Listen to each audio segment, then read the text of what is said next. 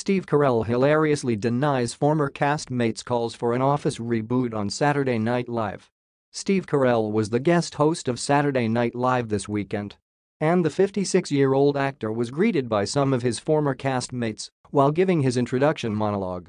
Ellie Kemper, Ed Helms, Jenna Fischer, and his wife Nancy, who played Carol on the NBC sitcom, all called for their former boss to reboot The Office.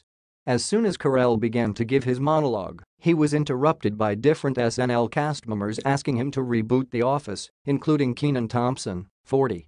The 40-year-old Virgin star responded by asking if he would reboot Kenan and Kel, to which the former Nickelodeon star said, it would be an honor.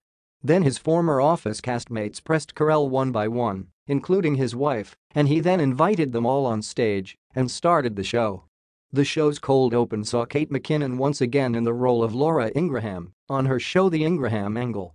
The segment started by taking on the midterm elections, voting fraud, and took a couple shots at President Donald Trump. Then it took swings at Facebook, Nancy Pelosi, and, of course, Ingraham's show. For one sketch, Carell transformed into Amazon CEO Jeff Bezos, complete with bald head, and talked about the new locations of his Amazon headquarters while also poking fun at Trump. At one point her remarked, I'm literally 100 times richer than you. Later, Pete Davidson and Chris Redd hyped up Ruth Bader Ginsburg with a hilarious rap called Live for Ginsburg.